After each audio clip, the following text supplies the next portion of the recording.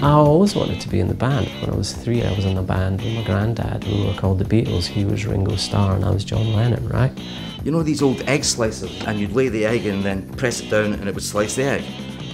I used to chase my dad around playing that, saying, buy me a guitar, buy me a guitar, buy me a guitar. And then down to the music shop, get your the pianist picture codes, and that's it, you're all set.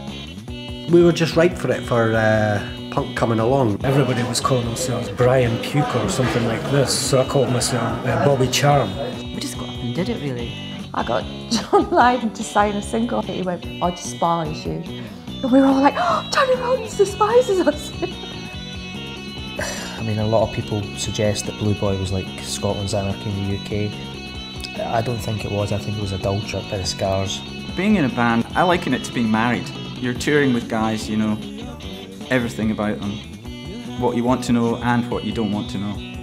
There were three bands that were absolutely sensational. The Associates, the Fire Engines and Joseph K. That was my kind of pop star. Looked like he read Beckett but loved Diana Ross. I think Fire Engines were one of the best Scottish bands ever. Should have been a really big one. They looked like a band. Layback was just bad. There was lots of eventful gigs involving almost decapitations, etc.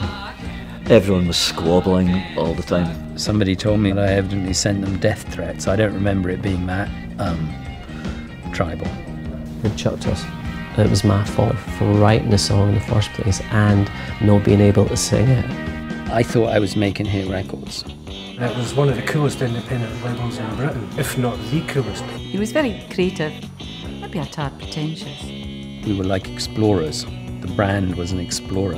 I'm still making music because of people like Bob. He'd received a cassette from a band, and it was the flipping Human League. This time, this has got to be the big hit. Martyn Ware, he was kind of sacked from his own band or something. Probably only example in my entire life, thinking about it, of proper betrayal. I mean, full on epic betrayal. It was almost like a complete surprise that it, it went that stratospheric. It's a great time to be a kid in Scotland. It just felt like Scotland was alive. It was just the place to be, you know, you didn't have to go to London anymore. They were literally changing the world. And they made great records while they were doing it. I want this. I want more.